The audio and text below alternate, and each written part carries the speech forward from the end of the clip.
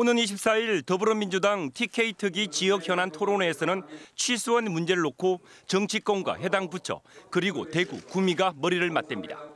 대구시는 구미공단에서 2천여 종의 유해 물질이 배출되는 만큼 식수원 이전 당위성을 강조할 예정이고 구미시는 수량 부족과 수질 악화 등의 반대 이유를 거듭 밝힐 것으로 보입니다. 이 문제가 해결 안 되고 10여 년 내려왔는데 더 중요한 것은 이 물은 이제 더 이상 먹을 수 없는 물이라는 사실이죠.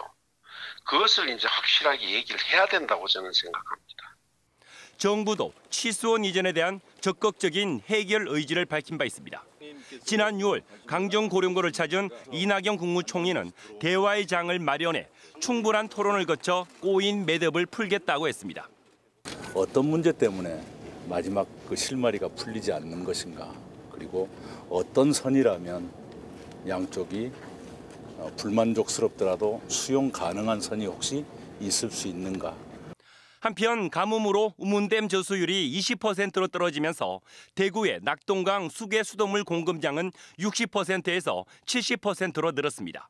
수계 조정이 추가로 이뤄지면 낙동강 수계 수돗물을 먹는 대구 시민은 전체의 80%까지 늘게 됩니다. 수돗물 안정성 확보를 위한 취수원 이전이 시급한 이유입니다. 정부가 시민들의 건강과 직결된 식수원 문제를 지자체 간의 물 분쟁으로 떠넘긴 세월이 10년.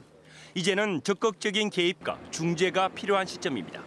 TBC 박용훈입니다.